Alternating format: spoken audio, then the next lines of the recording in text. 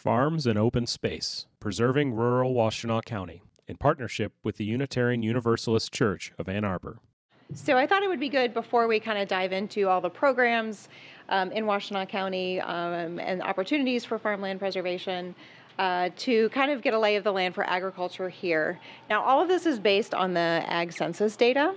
Um, and this was actually from 2012.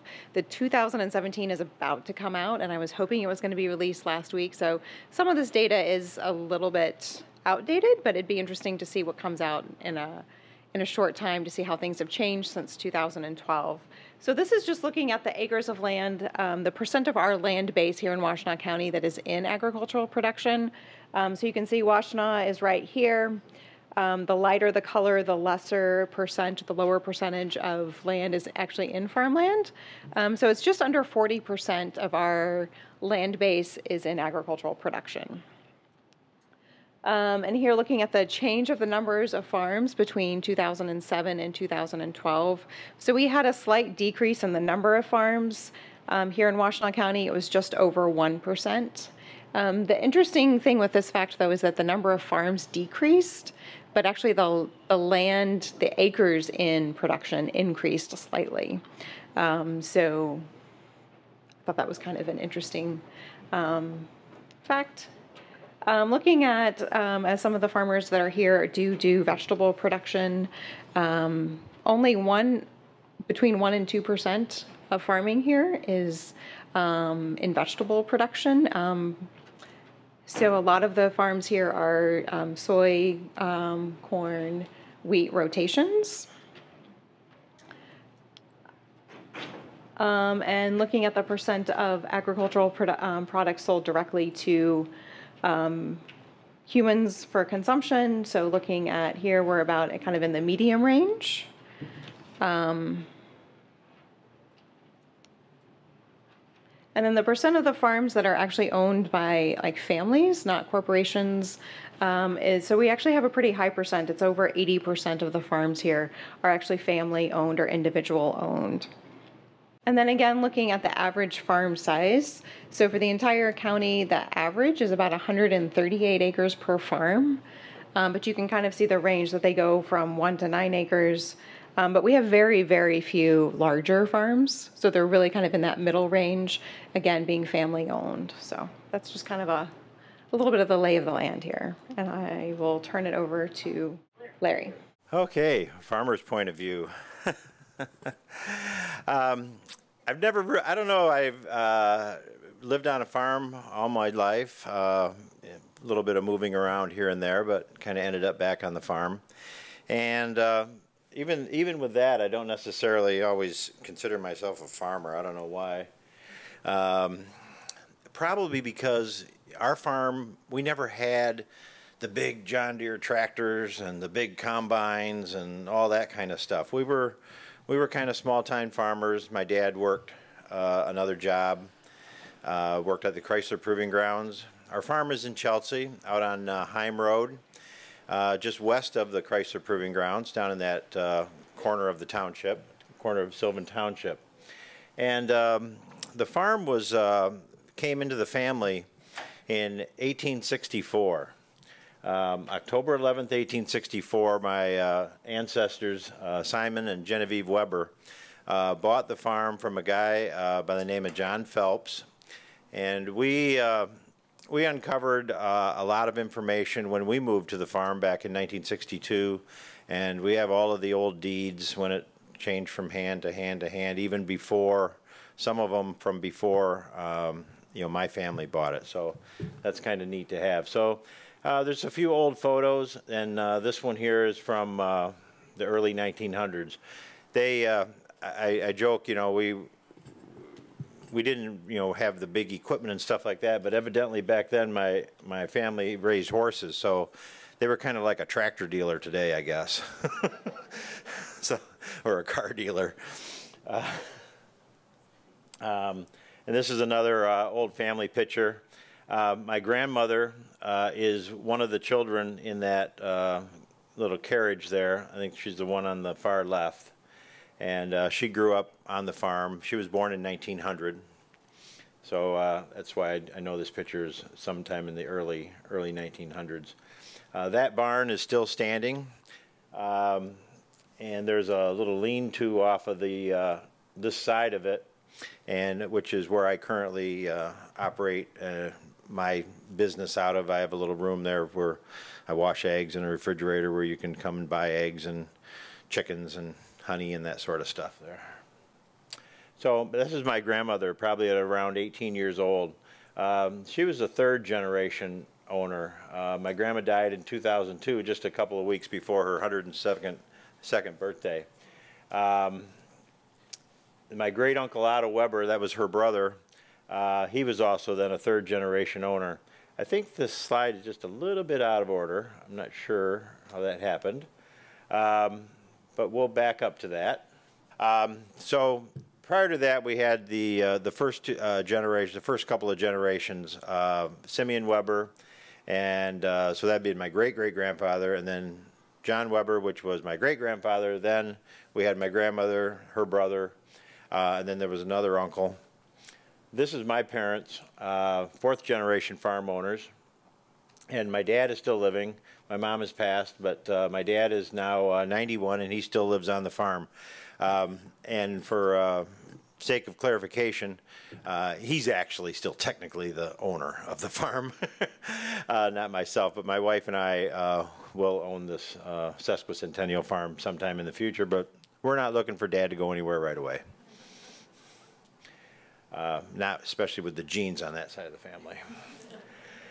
So in, in 1964, the uh, farm was certified as a centennial farm, and there was my dad uh, and his uncle, my great uncle Otto, uh, with the original sign from the Consumers Power Company put up there in front of the farmhouse. Uh, and then here, just a few years ago, when we, we had the farm certified as a sesquicentennial farm in the same family for 150 years, um, there's my dad with the new sign and uh, this picture here is kind of uh, a lot like what the those barns look like today. And uh, so the fifth generation farm owners, uh, there's myself and my wife. Uh, we took that picture at Chelsea's 175th uh, centennial back in 2009. We were all duded up in our centennial outfits. So um, I wanted to talk just a little bit about why we chose to uh, preserve the family farm. Um, as you could see there, there's a lot of history. You know, when I when when I when we grew up on the farm, uh, we always knew that date. We always knew that 1864. You know, the farm has been in the family since 1864, and you know what's that mean? Well, it means that you know there's just a lot of history there. So growing up, we raised uh, cattle and sheep and chickens. We baled hay. We had you know fields of corn and oats that we used for the feed for those animals, and um, it was a lot of hard work. Uh, you know, putting up hay always on the hottest day of the summer, and um, but we got a connection to that land.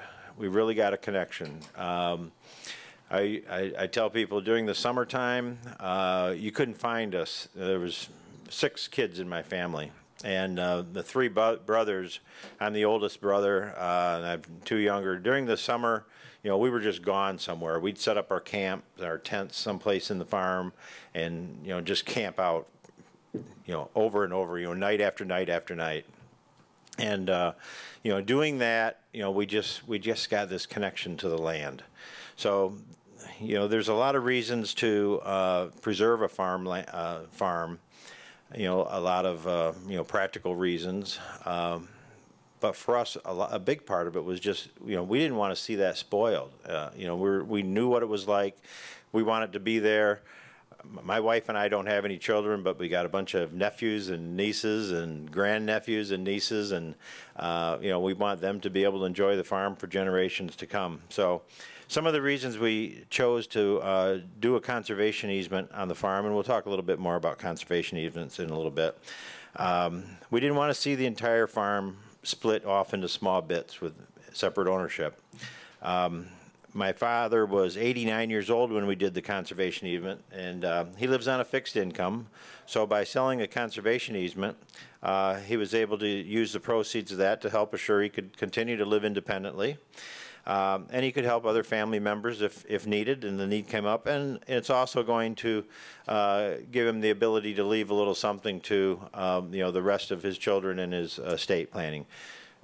It's like I'm going to get the farm, and the rest of the kids are going to get some cash, and you know, so I'll get to be land poor, and they get some money. um, we have a little family recreation area on the farm uh, with a pole barn, a pond, a little summer cottage. The space over the years has been used for family reunions, um, graduation parties, class reunions, weddings. Um, my wife and I were married in uh, our church in Chelsea, and we had our wedding reception out at the farm. It was uh, it was just beautiful.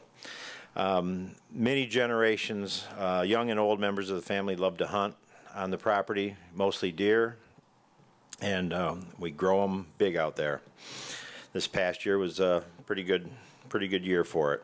Um, as I said, my parents had six children, and they're the fourth generation's owners of the farm, and so they were faced with the dilemma uh, how to keep the farm together as one parcel, you know, without splitting it up six ways. So the conservation did, easement did exactly that. Um, even if the land were to be sold outside of the family, God forbid, uh, it would still have to stay as one tract of land, and the conservation easement goes along with that. So it's still not going to be developed. So you know, it, it, it's not going to be sold outside the family by me, but you know, if you know, two, three, four generations down the road, you never know what's going to happen, and that's what uh, you know, preserving land is all about. Not just what's going on today, but what's going to go on down the road. So, as the next owners of the farm, my wife and I. Uh, we plan to establish some sort of mechanism, and we're actually kind of working with some attorneys right now to kind of figure out exactly how that's going to work. Uh, trying to figure out a, right mechanism by which the farm can stay in the ownership of the family, you know, for generations to come. And we want the whole family to be able to enjoy uh, all the land as we have all our all of our lives. Um, We'll talk a little bit about this later when we come uh, to Legacy Land Conservancy and what they do, but um, well, one of the things we talk about with legacy is um, freshwaters, uh, working farms, and places to play. And uh, our farm has all three.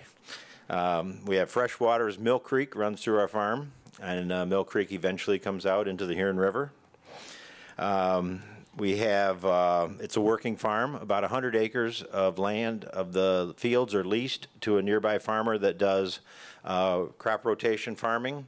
And then I run a small uh, meat and egg poultry business on the farm.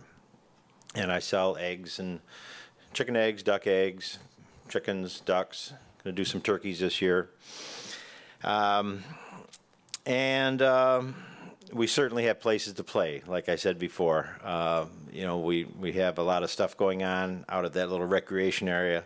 So uh, in that area, we went three for three, all, all three areas. So um, I was interested in seeing what Ginny had on one of those slides. Uh, said the average value uh, per farm sold directly for human consumption, I think on that slide was about eight to nine thousand dollars.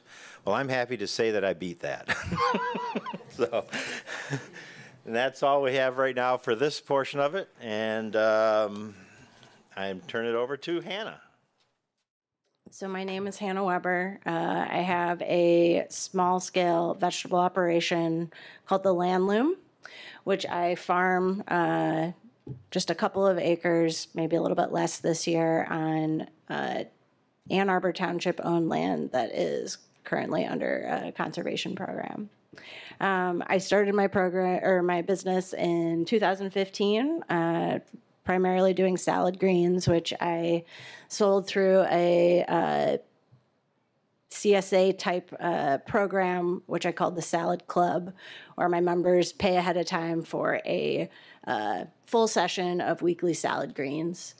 Um, I did not come from a farming background. Uh, my parents are healthcare professionals, but they brought me up in uh, CSA, and I was kind of uh, introduced to small scale farming from a very young age, and it definitely uh, contributed to my my interest in it uh, in the long term.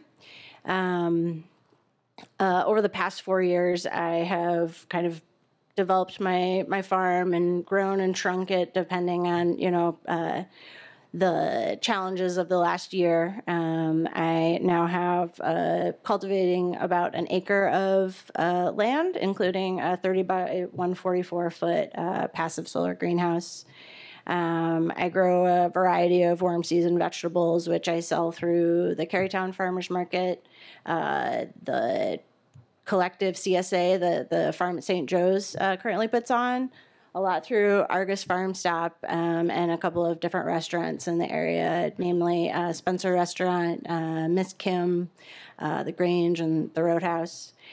Um, I have been very fortunate to be able to start my business on the Tilian Farm Development Center, which is the incubator program that has been running out of the Ann Arbor Township land for probably about 10 years. Uh, it's been under a, a number of different um, organizations who have administered this uh, incubator program, but for the most part, it's been a really great success, uh, graduating uh, new beginning farmers such as Seeley Farm and Green Things Farm. Um, and I think that's been a big part due to the conservation of that land and the wishes of the township to uh, create a resource for beginning farmers to start their um, businesses uh, before they have to uh, make capital purchases and make really uh, strong investments in their business.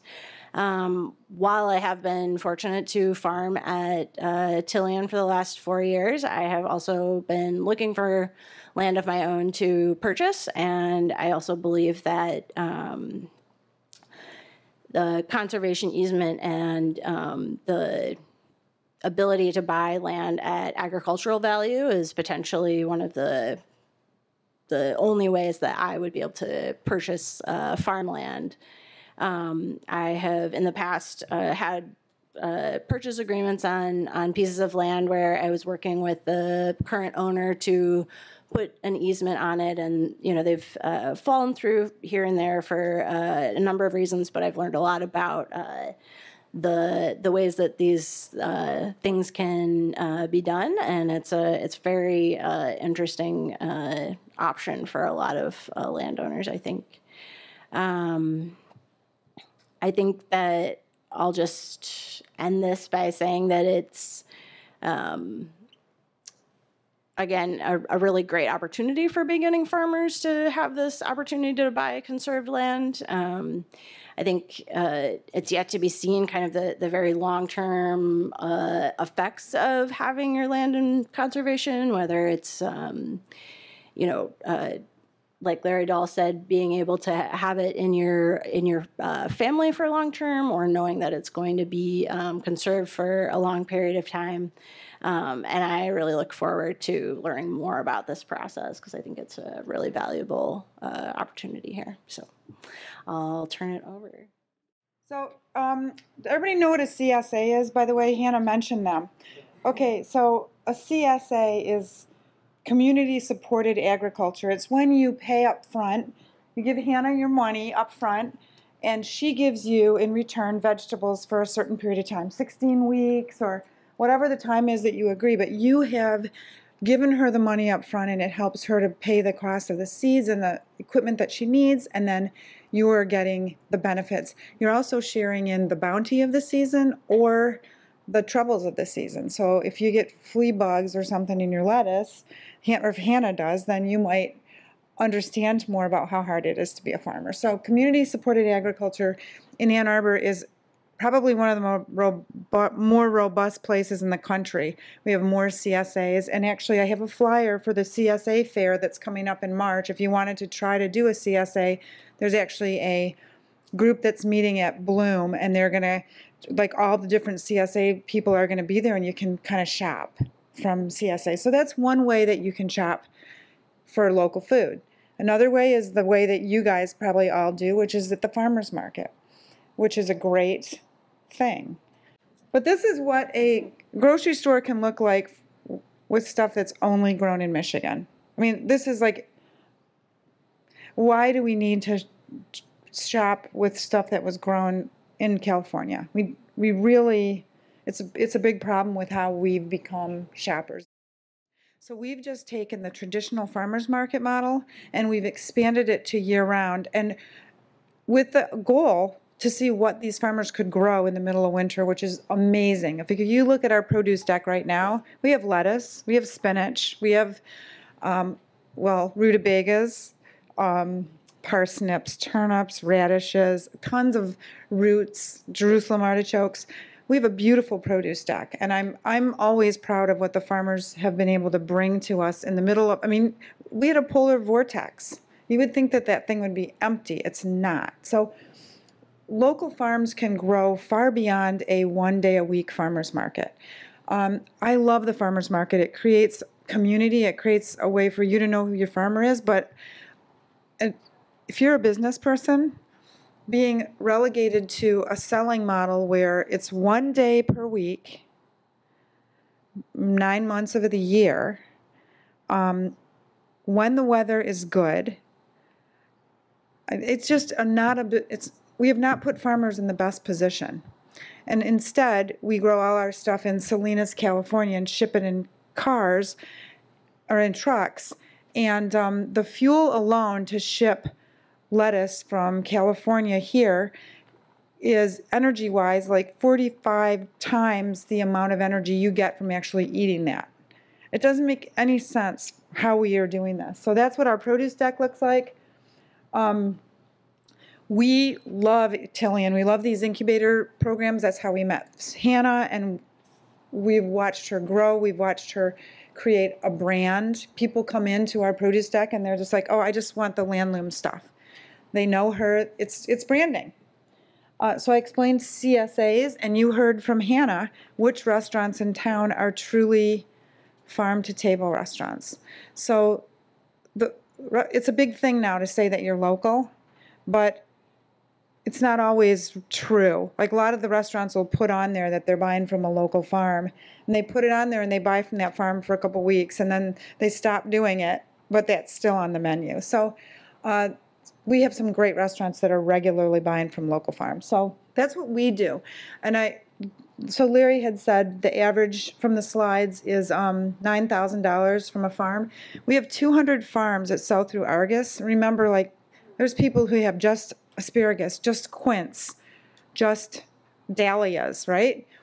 But we've got 25 farms who make $30,000 or more at our store because, well, we have meat, you know, we have a lot of other products. We have every, we have a complete range. So we have a pretty significant impact on the budget of a small farm. And that was our goal in starting the store.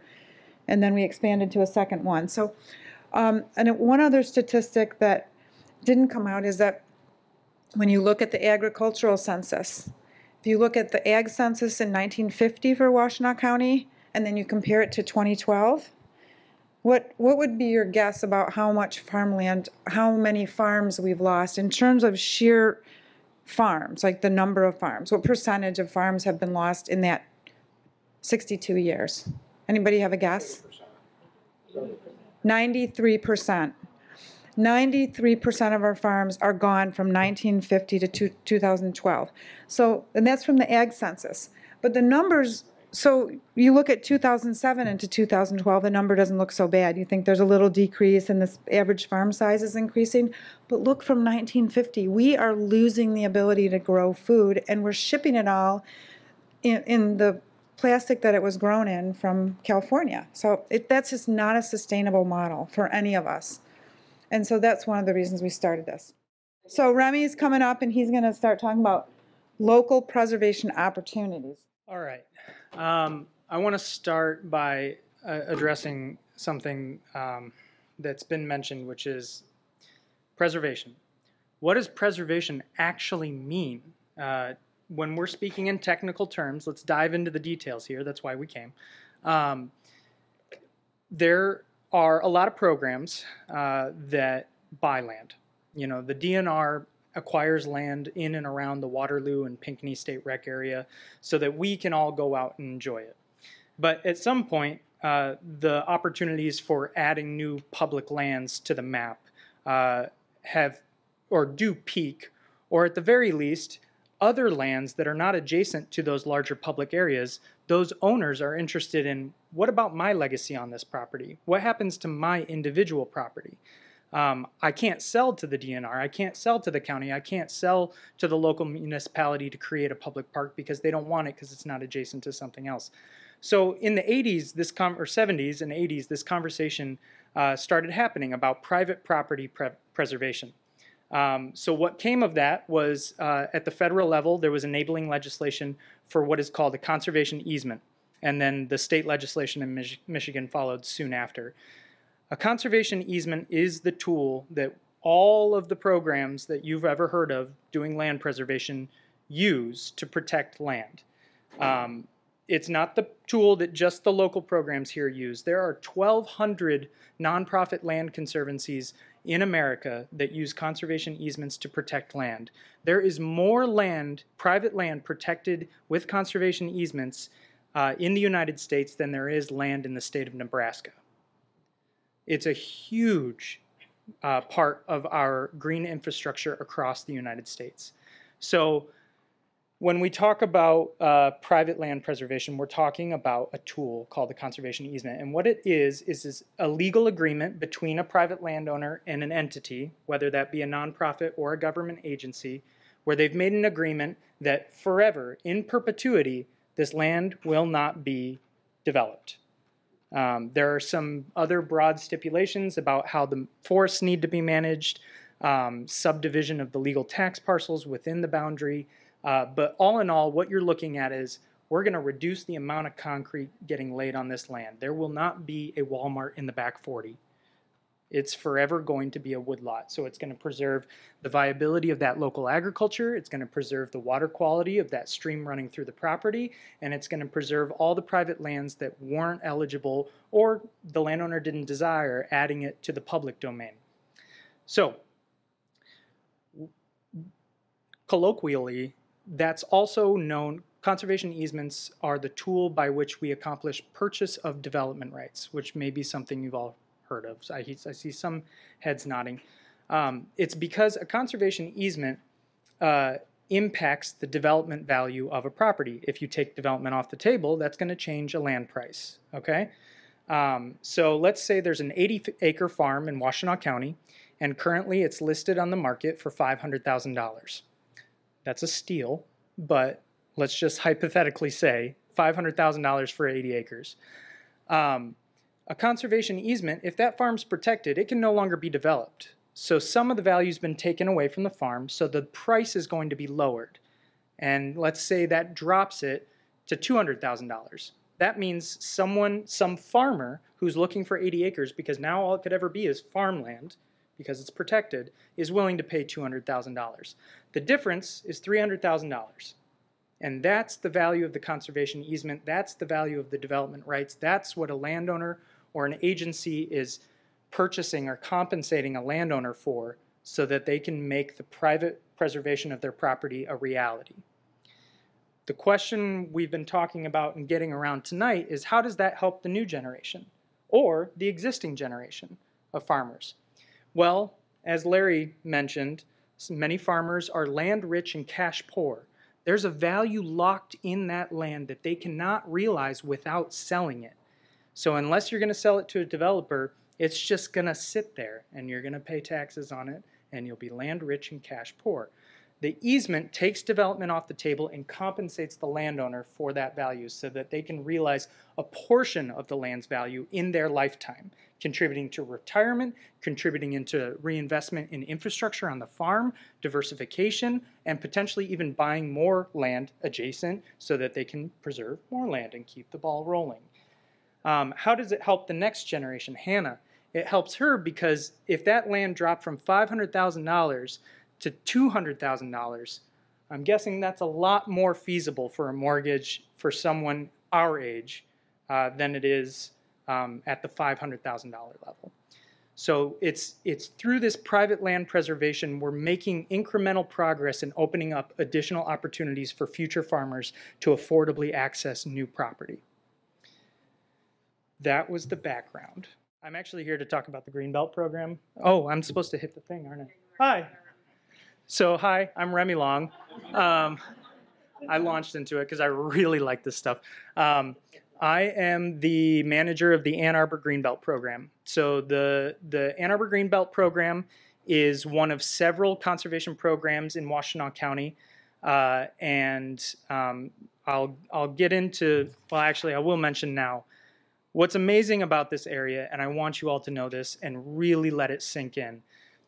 Of all those conservation programs across the United States, there are very few places that have this high of a density of conservation programs available to the public.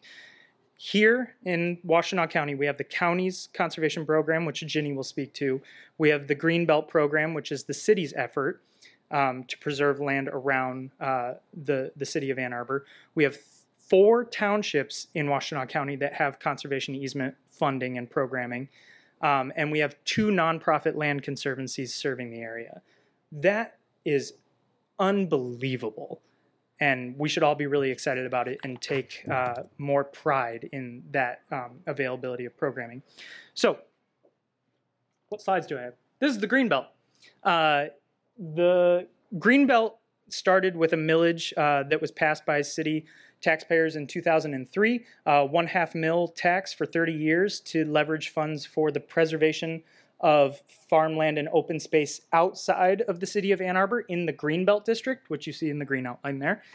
And then a portion of the funds are also allocated to purchase new parkland within the city limits. So the millage was actually twofold in its mission um, preserving open space, green infrastructure uh, uh, outside of the city, and adding new parkland within city limits.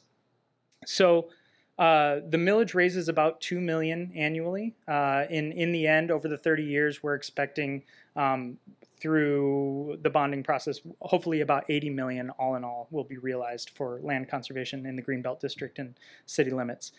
Uh, so there are two commissions um, that City Council has uh, formed uh, to oversee the use uh, or the, the management of these programs. One is the Greenbelt Advisory Commission, which is tasked with um, assessing properties that are nominated within the Greenbelt District, and the other is the Parks Advisory Commission, which oversees many things related to parks in the city, but one of the things they oversee is um, potential new park acquisitions within city limits. So two thirds of the funds are for the Greenbelt District, one third of the funds are for city parks. Uh, to date, the Greenbelt program has protected, that constitutes 5,345 acres, 0.28 included, um, uh, in the Greenbelt District uh, since the program began in 2003. Um, one of the key uh, uh, focuses of the program is to leverage the funds. Um, we have to act quickly. We have to preserve farmland when we can at times, but we also make sure that we're uh, doing our best fiduciary responsibility with taxpayer dollars to leverage those funds. So, uh, to date, um, the Greenbelt has contributed uh, 22.9 million toward acquisitions and leveraged over 22 million to match that. So it's about a one-to-one exchange or one-to-one match that the program's achieved so far, which is across the country a very impressive uh, uh, number. Um, within the Greenbelt strategic plan, there there are four uh, four key focuses. One, building priority uh, 1,000 acre blocks of farmland. So what you see right now somewhat resembles buckshot on a page. It's not the neatest, you know. Uh, I think when maybe the original millage was passed, some people thought, oh, it'll be this perfect ring around the city. Land acquisition and real estate doesn't necessarily work like that. You acquire parcel by parcel, you protect farm by farm, what's available, what's coming to the table, but you do focus on building these viable blocks of agriculture because we know that when farms get split up further and further and the distances between them are spread out more and more, the ability for those farmers to share resources and infrastructure with one another become more and more stressed and they're further and further away from the focal points of their resources. Where do they get their seed? Where are their markets? So our focus is building thousand acre blocks within uh, the Greenbelt District. Two, um, open space protection, which really focuses on protecting headwaters of the Huron River. Um, we really want to protect our source waters. Uh, so you'll see some of the pro, or not in this map, but if there were the streams layer in this map, you would see a lot of these properties contain some of the headwaters um, heading to the main stem of the Huron. Uh, three, I mentioned, was leveraging funds and creating partnerships, which I touched on is very unique and very exciting in this area uh, with Ann Arbor Township, uh, Lodi Township, Webster Township, Scio Township, Legacy Land Conservancy, Southeast Michigan Land Conservancy, Washtenaw County, and a bunch of other players at the table making this uh, work happen. So, and finally, the fourth point is exactly what I'm doing now. The Greenbelt seeks to educate the public and engage them on our success and your success by passing this millage. So, that's it. Okay, I'm going to put my other hat on here, my trustee pin. Um, hi, I'm Larry Dahl. I'm a member of the Board of Trustees at Legacy Land Conservancy. Um, also present tonight, Jenny is also a member of the Board of Trustees at Legacy, and we have our Executive Director over here, Diana Kern. Um, Legacy Land Conservancy does uh, is one of the nonprofit uh, conservancies that Remy mentioned in his talk that's here in Washtenaw County. It was founded in 1971, uh, and uh, it's the Michigan's oldest organization dedicated to the voluntary conservation of locally important land. It's a 501c3. We gladly take your contributions, and you may take a tax deduction for that. Um, we've been around for almost 50 years. In 2021, uh, we will be celebrating our 50th year. Um, over the over the years, we've grown. In uh, 1989, the Potawatomi Land Trust was formed to focus on farmland protection. And in 1999, the Washtenaw Land Conservancy, which was the original name of the uh, of Legacy, merged with the Potawatomi Land Trust to form the Washtenaw Land Trust. And then in 2008, we extended our service area into Jackson, and uh, in the course of that, it didn't make sense to be servicing Jackson being called the Washtenaw Land Trust. So at that time, uh, we changed our name to the Legacy Land Conservancy. Um, shortly thereafter, Legacy became one of the first accredited land trusts in the nation, uh, accredited by the Land Trust Alliance. We uh, were able to receive uh, reaccreditation in 2014, and we are working on another round of reaccreditation right now. Um, we take pride in protecting land that falls into those three categories that I talked about before freshwaters, working farms, places to play, and uh, naturally, some places have all three. Um, but our focus tonight is mostly on the working farms. Um, currently, uh, Legacy uh, protects 25 farms totaling over uh, 2,200 acres. And we're looking for additional paths and partnerships to constantly protect more farmland uh, all throughout Washtenaw County and Jackson County. We have a, a very nice pipeline of projects that we're looking at. Um, they, every now and then you do get donated easements. Um, Remy was talking about how the conservation easement works. You got the value of the land before the uh, while there's still development rights and you got the value of the land after the development rights are sold.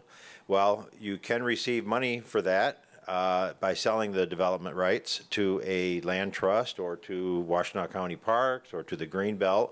Uh, some landowners also choose to donate those uh, development rights to uh, the land trust and they can then use that uh, as a tax deduction in various ways.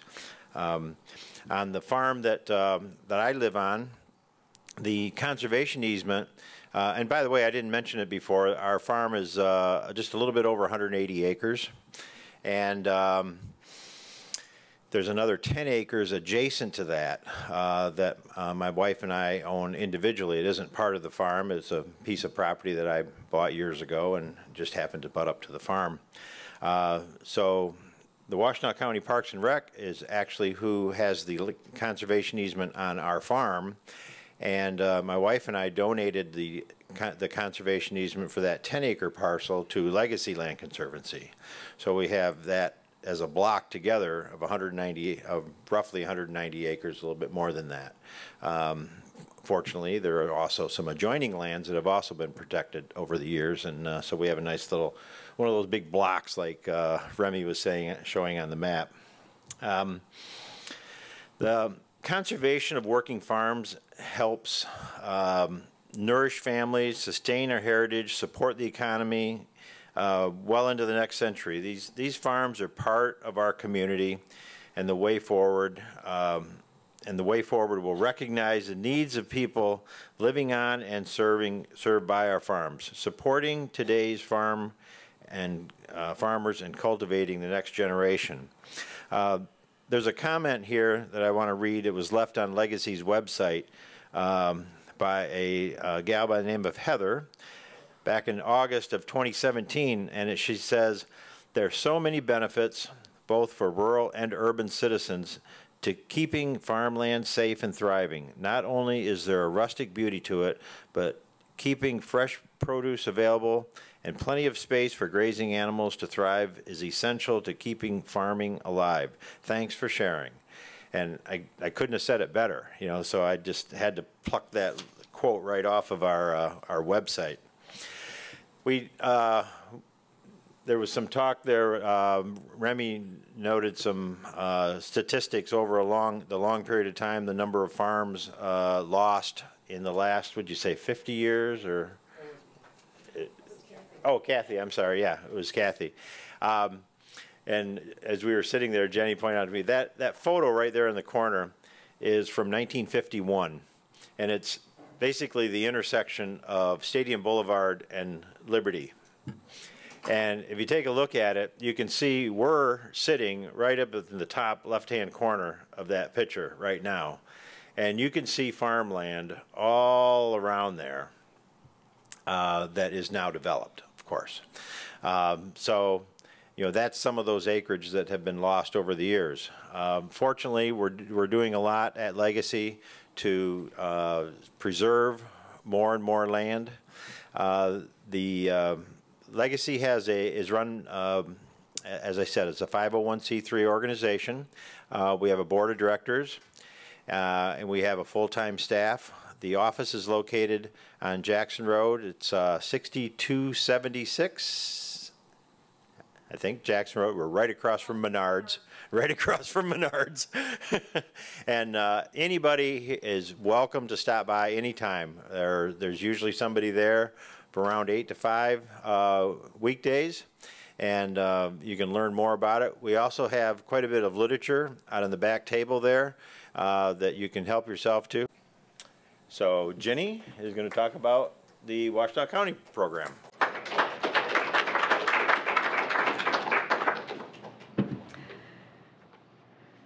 Right. So um, I manage the county's natural area preservation program. Um, similar to the Greenbelt, um, it, it is a property tax millage that was passed first in 2000. It's a quarter mill, 10 year long millage. So it was renewed um, in 2010. Uh, the focus of the, the county program is a little bit different than some of the township programs, a little bit different than the Greenbelt program, in the sense that we really do focus on the natural areas. Uh, so the first 10 years of the program, we were buying up land outright primarily. Um, we've established a number of nature preserves. So here you can see the sign of Fox um, Science Preserve, which is in Scio Township. So you might see these signs all around, um, hidden along the roads. Um, these are open to the public. Um, they have nature trails. There's no other sort of park development. It's really just about enjoying nature. Um, and we have a whole stewardship staff that manages these properties, uh, manages those trails to keep them open for the public. Um, in 2010, when the millage was coming up for renewal, um, we had a lot of conversations because obviously natural areas and farmland don't necessarily know parcel boundaries. They don't follow those exactly. Um, and we also realize that farmland is a lot, is a big part of our natural areas, our soil resource here in Washtenaw County. And so the, the ordinance was actually changed to include agricultural preservation into our natural areas program. So since that time, we have been um, doing the more agri traditional agricultural preservation um, that Remy talked about um, earlier. So to date, Um, we've protected over 7,500 acres of land in Washtenaw County. That includes about 3,000 acres of farmland. Um, a lot of that, those acres are done with our partners like Legacy, the Greenbelt, the townships, and even and also Southeast Michigan Land Conservancy. Um, the county has contributed about 38 million towards uh, those projects and leveraged about 14 and a half million. So our leverage isn't quite as good as, as the Greenbelt, um, but we're um, we certainly all work together. A lot of times people think like, are you guys in competition with each other? And I was like, no, we all we're all working towards the same mission. We all kind of um, we all know each other really well. We all work really closely together. So this is not um, a competition at all. Um, so this is a map of Washtenaw County looking at the preserved land in the year 2000. So you can see we've got obviously the Waterloo Pinckney up here in the northwest corner of our county. Um, the darker green is public land, so it's either university owned, county owned, city owned land. And these lighter green pieces are actually conservation easements. So this is when the, the county's program first started. Um, at the time, the Greenbelt millage had not passed. The townships did not have millage programs. Um, Legacy was around. Southeast Michigan Land Conservancy was around. Um, but land preser preservation was really just kind of getting started, if you will. This is a map of what it looked like in 2010. So you can see a little bit of the difference here. We've got, obviously the Greenbelt um, was about seven years into the program. Uh, you can see this is at the, so Webster Township has um, a millage, and that was the first one was passed in 2005. It was just a five-year millage, and so this is at the end of Webster's first kind of round. You can see this big um, group here of conservation easements with Webster Township and the city's Greenbelt program. Um, you can start to see these blocks that were put together, as Remy was talking about. Um, obviously, a lot more in Ann Arbor Township. Ann Arbor Township is also one of the townships that has an approved millage, so you can start to see that progress. Um, and even some of the other properties out here that the county or legacy have, have added onto. And then this is current day. Um, there's a couple of these that are projected to be closed pretty soon, so we're maybe hopefully not counting our chickens before they hatch, but um, so to say. But you can start to see how much um, all of these blocks are put together. Um, once one farm is protected, usually um, I always say the landowners are our greatest advocates out there. Um, they're talking, the farming community is very close knit here. They talk to one another, um, so neighbors might get uninterested then. and, and Remy also talked about earlier about farmers feeling like the, that it's viable here in Washtenaw County. Um, I started actually with the Greenbelt program back in 2005 originally. And farmers kept telling me, like, why should I preserve my land, Jenny? Because it's not going to be viable here in Washtenaw County um, for generations to come. I, am better off selling uh, for development. Well, now that we have these blocks, these farmers all work together. One of them's a great mechanic, one of them has other skills and they can start to see and they can actually start to visualize that this is a viable option really close to several um, core urban areas where they can sell produce, they can sell their products. Um, here in Ann Arbor Township, this is probably some of the most expensive land outside of the city, but a lot of that's been able to be protected, and so it, they're super close to an urban core. This is where Green Things Farm is. Seeley Farm. You'll see them at the Ann Arbor Farmers Market. You'll see them at local grocery stores. Um, this is where Hannah's working as well. Um, so it's a really, um, it makes it viable for farmers, for not only continuing farmers and who have been doing this for generations to work together, but also, as we said, for new and beginning farmers. So this is a pretty impressive map to see the difference from 2000 to 2019. And these programs are continuing. Um, our millage is up um, next year. Uh, the Greenbelt still has a number of years. Uh, the townships have gone back out to their voters. All of these have always passed with overwhelming support. So thank you. Um, and I guess that's it. This program was recorded on February 26, 2019, at the Ann Arbor District Library.